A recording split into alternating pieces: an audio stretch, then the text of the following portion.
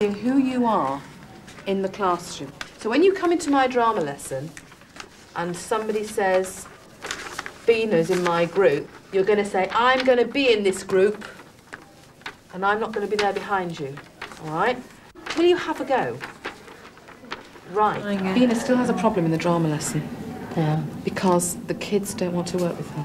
And last week she was on the verge of tears, and I sat standing with my hand on her shoulder because she was the teaching group is very aware of Bina's difficulties. I've had murders with them this term in the drama lesson in trying to make them understand that their comments are painful. I don't know whether that's been a success, but they do understand that their behaviour affects Bina. The following week, there's good news for the group. I think there's been a tremendous improvement, young lady, who did not need support in the drama lesson this week. Well done. Fantastic. Good girl. She was, will I stay, did I not stay well away from you this week? Good girl. Grillsville. It's the last session of the group. The children must take what they have learned back into the classroom. Are you happy to be leaving? No. No. Are you pleased it's over, or you would you prefer to stay? And what about you, Armin? Are you glad that it's finishing? Not really. No. Is he still being bullied? Yes, to a certain extent, but I think he's more able to cope with it, which is what you want. You can't, you can't ever stop bullying in a school. You've got to be a bit more forceful. When they make fun of me, uh, I never talk to them. Well, I'd like to see you stand up for yourself a bit more. I think that would be very good if you could. I don't mean fight at all. We've got to find, we've got to find Matthew. But Matthew does not turn up. Matthew feels that he's been picked on.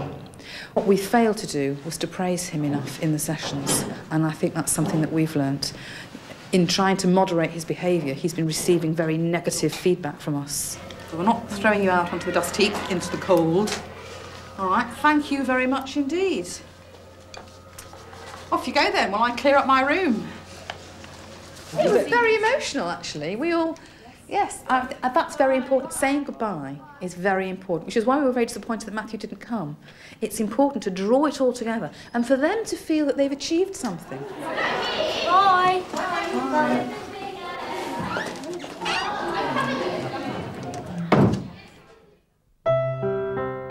Three months later, Bina and her family moved back to Tanzania. John was suspended for bullying. He claimed he was innocent. Matthew decided not to rejoin the social skills group. And Mark, after a shaky start at his new school, has so far kept out of further trouble. No, before you go, Max. Will you stop saying that? There's an awful lot of things up your bum, isn't there?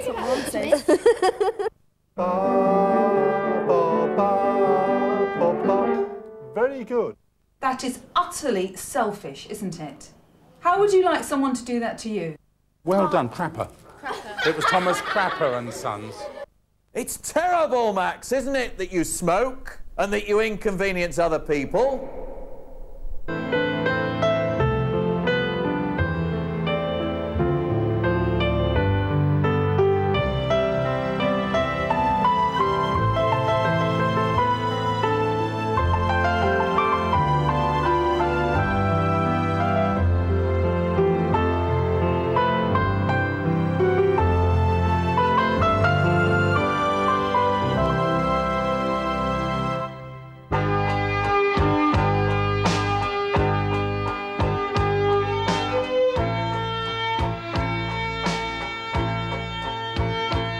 Park High School, a popular suburban comprehensive in the borough of Harrow, is holding its annual party for old people.